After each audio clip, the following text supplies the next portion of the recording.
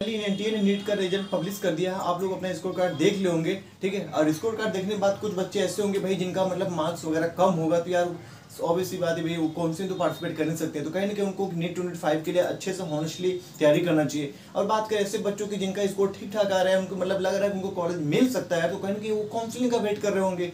अब वो काउंसलिंग कब से स्टार्ट होगी, क्या होगा काउंसलिंग कब, उनको थोड़ा सा इसमें, क्योंकि यार देखो, लंबे समय से आप वेट करते चले यार, कभी इतने दिन सुप्रीम कोर्ट मामला था, अब आ गई आ गई बात काउंसलिंग की, अभी तक कोई नोटिस जारी नहीं हुआ, कुछ समझ नहीं आ रहा है तो कहीं ना कहीं अब वेट करना बहुत मुश्किल हो जा रहा है। तो चलिए मैं आज की वीडियो में आप आपको पूरा डिटेल बताऊँगा किस डेट से काउंसलिंग स्टार्ट होते हैं स्टार्ट हो सकती है, उसके पहले का प्रोसीजर है हर एक चीज़ के बारे में हम लोग अच्छे से बात करेंगे। देखो यार एमसीसी जब भी अपनी रजिस्ट्रेशन ओपन करता है, उसके पहले कुछ प्रोसीजर होते हैं, कुछ होते हैं काम जो वो करती है। सबसे पहले क्या करती है, जब भी वो रिज़ल्ट पब्लिश करती है एनडीए तो क्या करते हैं, दो रिज़ल्ट को स्टेट काउंसलिंग बोर्ड के पास और एमसीसी के पास, दोनों के पास वो भेजती है ऑफलाइन ऑनलाइन तरीके से, जिसमें वो फोर टू फाइव डेज़ लगा देती है। फोर टू फाइव डेज़ लगा देती है। इतने दिन में वो क्या करती है? सारे रिज़ल्ट वगैरह भेजती है। उसके बाद क्या होता है कि उसके बाद होने से पहले मैं आपको बता दूँ कि जो जो फोर टू फाइव डेज़ लग रहा है मतलब आज आज क्या ट्वेंटी सिक्स जुलाई आज ट्वेंटी सिक्स जुलाई है। तो करीबन थर्टी फ़र्स्ट जुलाई तक ये जो मतलब रिज़ल्ट भेजने का काम है एनडीए का, वो पूरा कंप्लीट हो जाएगा। तब उसके बाद क्या होता है कि एमसीसी क्या करती सीट मैट्रिक्स वाला काम करती थी, करती है और उसके बाद पीडब्ल्यू सर्टिफिकेट बनवाती है। सीट मैट्रिक्स का काम करती है पीडब्ल्यू सर्टिफिकेट बनवाती है। यार देखो सीट मैट्रिक्स का जो काम है ना एमसीसी ने पहले कर लिया। ये बहुत अच्छी बात है आपके लिए कि मतलब थोड़ा सा आपको वेट कम करना पड़ेगा। सीट मैट्रिक्स का काम फाइनली खत्म हो गया है।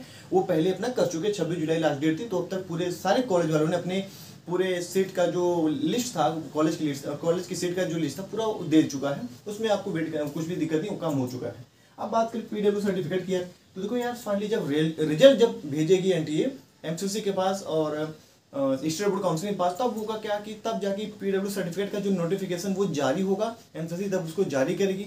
अब ये पीडब्ल्यू सर्टिफिकेट करीब बनवाने में seven days to ten days लग जाते हैं। Seven days to ten days लग जाते हैं। तो यार, अगर ये नोटिस मान लो बेटा थर्स थर्टी फ़र्स्ट जुलाई को आती है तो थर्टी फ़र्स्ट जुलाई के बाद अगर हम बात करें सेवन टेन डेज़ मतलब करीबन टेन अगस्त तक। टेन अगस्त तक या इलेवन अगस्त तक। मान ली भाई, एक थर्टी फ़र्स्ट अगस्त को थर्टी फ़र्स्ट जुलाई गुना करके, एक अगस्त दो अगस्त को जारी करी। तो हम ऑन एवरेज मान के चल रहे हैं कि करीबन टेन टू ट्वेल्व अगस्त तक ये चीज़ खत्म हो जाएगी। पूरा मतलब पीडब्ल्यू सर्टिफिकेट ऑलमोस्ट बन जाना चाहिए, बन भी जाएगा। अब अगर बात करें इसके एमसीसी का रजिस्ट्रेशन ओपन होने की डेट क्या हो सकती है तो भाई जब ये चीज़ जैसे ही खत्म होगा पीडब्ल्यू सर्टिफिकेट जैसे ही खत्म होगा मतलब कंप्लीट हो जाएगा काम, उसके बाद तुरंत ये हो जाएगा रजिस्ट्रेशन ओपन का एक उनको लोग नोटिफिकेशन जारी कर देंगे। तो वो डेट क्या हो सकती है?